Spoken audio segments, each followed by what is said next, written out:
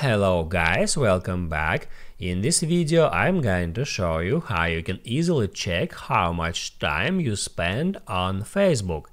Be sure to watch the video to the very end uh, so you don't make any mistakes and of course do not forget to like this video and subscribe to my channel. So let's begin and uh, first open up settings.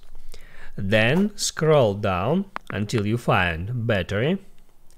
And uh, right here at that screen it shows you your uh, in-app activity. You can right here switch between last 24 hours statistics and last 10 days.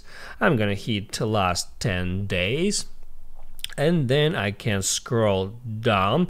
Also right here you can tap at show activity to see at the exact time instead of percentage in that way.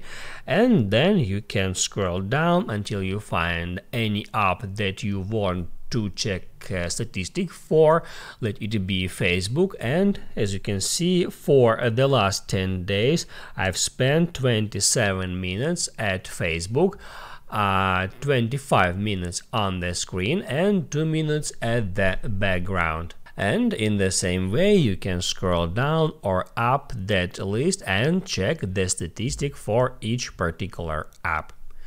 Now you can write down in the comments below if you have any questions about that tutorial and also I recommend you to check out my Facebook tutorials playlist which you can easily find in the description. Hit the like button if you like that video and uh, see you in the next one.